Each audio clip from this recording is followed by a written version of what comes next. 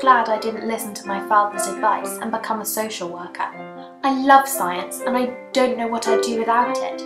I knew I wanted to be a scientist when I was 15 and they were teaching me physics. Right, I better start working on this graphite structure. I'll just clear a bit of room and then work on it.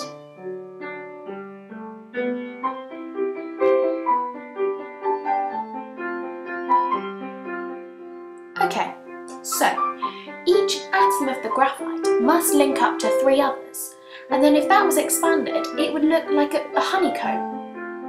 And then if the honeycomb formation was put into sheets, it would make the graphite slippy and soft, like it is.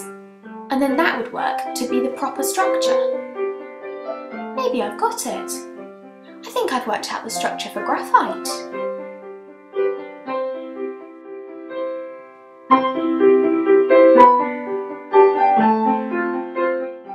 I'm very glad I went to France and studied X-ray crystallography with Professor Burnell.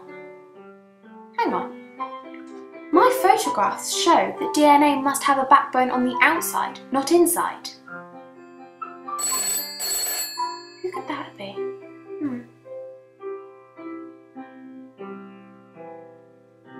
Hello? Oh, hello, Wilkins. I was working on it before you rang. I've got some brilliant news. DNA is not as complicated as we all thought. It's much simpler. It has a backbone on the outside, not inside. I can work on it. I'm your equal. hmm. I'll prove to Wilkins that I'm just as good a scientist as him.